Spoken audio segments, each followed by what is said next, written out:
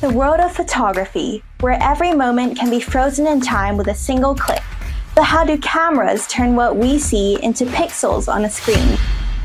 It all starts with light. After all, photograph means drawing with light.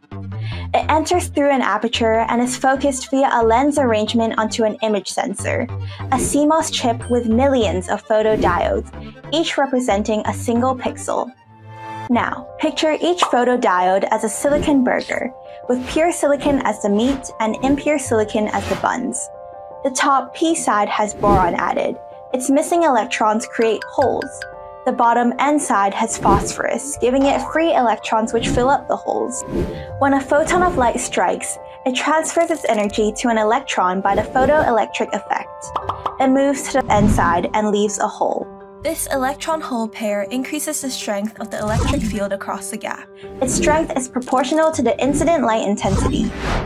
Each photodiode is connected to a transistor, which feeds and amplifies the flow of charge into an ADC, with each cell in the array being assigned a binary value corresponding to the brightness. And voila! The processor constructs a grayscale image. But we're not in the 1800s. Our photos have color, all thanks to color filter arrays. They're like these movie glasses, but with red, green, and blue filters in the Bayer pattern. Only the matching wavelengths of light pass through, so the sensor only records the intensity of one color at each pixel. But this looks a little bit strange. No worries, an interpolation algorithm steps in to estimate the other two RGB values. It may not be the true color, but it's a good approximation for sensors smaller than your pinky nail.